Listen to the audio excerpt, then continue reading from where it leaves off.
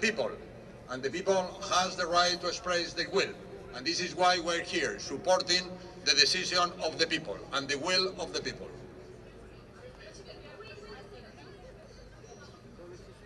Ви сьогодні приїхали в Україну, переконалися дійсно, що багато е, постраждалих, переконалися в тому, що дуже багато людей на майдані.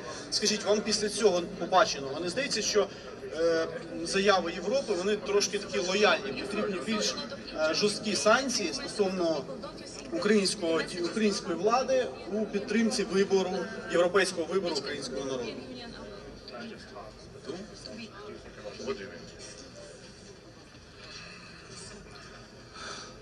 give you a twofold answer.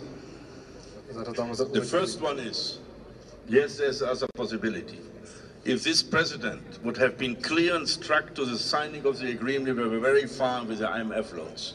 But since October, nobody was sure what is going on. It is in his lack of reliability which uh, prevented certain things. And we are still working on that IMF thing that that can be done in order to have that other choice. And that was also said in Vilnius to do that. I think that is not, it's an alibi now used by Yanukovych. The decision is taken on Maidan, not in a palace in Sochi. The second point is, Володимир Володимир, я б сказав би, що у нас є люди, які паразитують на комуністичній ідеології. В ту ситуацію, яку ми є зараз, що з жовтня місяця ми не знали, куди йде Україна, і що зараз Янукович використовує питання АМФ як алібі, що він не може нікуди рухатися. І це е, ось чому люди зараз вийшли на майдан. I think the short-term thing is to bring all the partners together to a round, peop- a round table and find a solution and prevent further violence. І наша ціль це є звести всіх на круглий стіл і щоб не було далі ніякої агресії.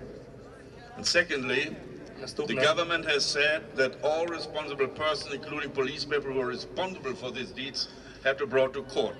We will look in that whether that will happen. І ми хочемо сказати, що нам уряд пообіцяв, що всі, хто були відповідальні за